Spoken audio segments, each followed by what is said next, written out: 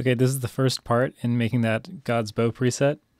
Uh, for this example, I'm going to be hitting, uh, let's see, C2, C3, C4. I'm going to be hitting C5 since that's like the easiest note for me to lean over and press. Um, let's get started by going to our common tab. And then I'm just going to switch this real fast um, to a different EXI instrument and then switch back to mod 7. So it creates an initialized patch. The only thing that's going to um, remain the same are these uh, are the settings in this window. I had simply dropped it in Octave, but otherwise this is just a completely blank mod 7 patch. All we have is our sine wave going to the output. Uh, since this preset is based off of um, a Radias preset, I had actually used the PCM oscillator. Um, so I think this is probably the easiest part of this. So jump into the, uh, send the PCM oscillator to the output jump into the PCM oscillator tab, uh, and then you're going to choose waveform 1100, which is SAW EXP. Uh, it stands for it's EXP because it's it's the expansion board that was for the M3, but it's the MMT engine from the Radias. So it sounds it's it's a, that it sounds exactly like the sawtooth from the Radias. Um, now you're going to want to drop that an octave. And then we for our envelope, it's on envelope generator 7. We're going to want to change that. Uh, I'm going to jump over to the amp real fast, and then jump over to the amp envelope, because it's going to help illustrate something about the way the envelopes work in Mod 7. Put the break and sustain all the way up. Give it some attack time. 72 is fine. Give it some release. Doesn't matter, somewhere around 70, 75. And when we press a key, we're going to hear it swell, as you'd expect with a long attack, but then the release suddenly cuts off. The reason for that is because the oscillators are using their own individual envelopes. And those envelopes are naturally set at a kind of almost like an organ envelope. Um, so that means that they're getting they're reaching full volume immediately, but then the the slow attack of the amp envelope is shaping the swell. So what we're going to do is we're going to go into our PCM oscillator and just take off the envelope.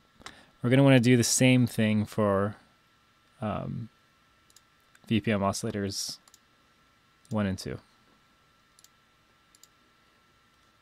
Now I'm going to jump into the patch panel and turn down the uh, the sawtooth waveform so then you can really hear what we're going to do next. We're going to turn it back up at the end of the patch. So I'm patching operator 2 or VPM oscillator 2 into the input of operator 1. And then I'm just going to uh, click on a part of oscillator 2 and hit jump to take us to VPM oscillator 2's page immediately. Uh, for the ratio, actually, let's take the um, Let's take the volume down. Our volume in this instance is controlling the amount of FM that's occurring. You, we can uh, turn that up, I think, yeah, 40. And then for ratio, turn that on to 5. Now for our alternate modulation source, we're going to want to choose LFO1. And give that an intensity of, uh, think like 20.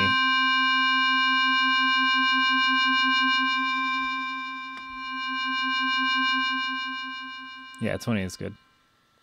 It sounded funny for a second there because I had accidentally um, released a key and then pressed it again.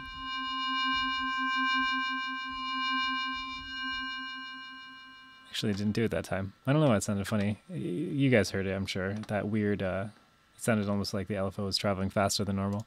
Anyway, jump into the LFO page.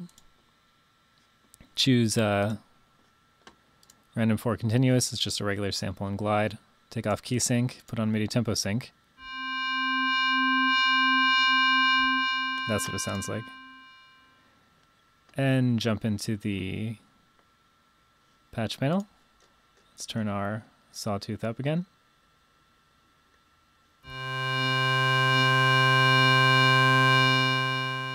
Excellent.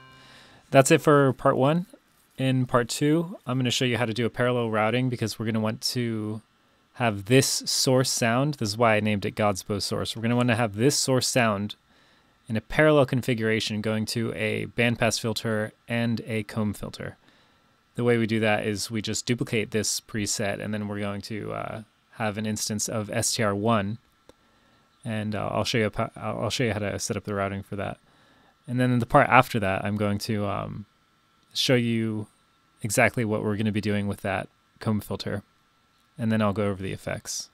Maybe in a fourth video. I'm not sure exactly how I'm going to split these up. But yeah, thank you for watching. Um, feel free to like, uh, comments, whatever. I don't know. I always see people begging at the end of YouTube videos for that kind of stuff. So I don't know if that actually helps. But but thank you very much for watching and uh, stay tuned for the next parts. Okay.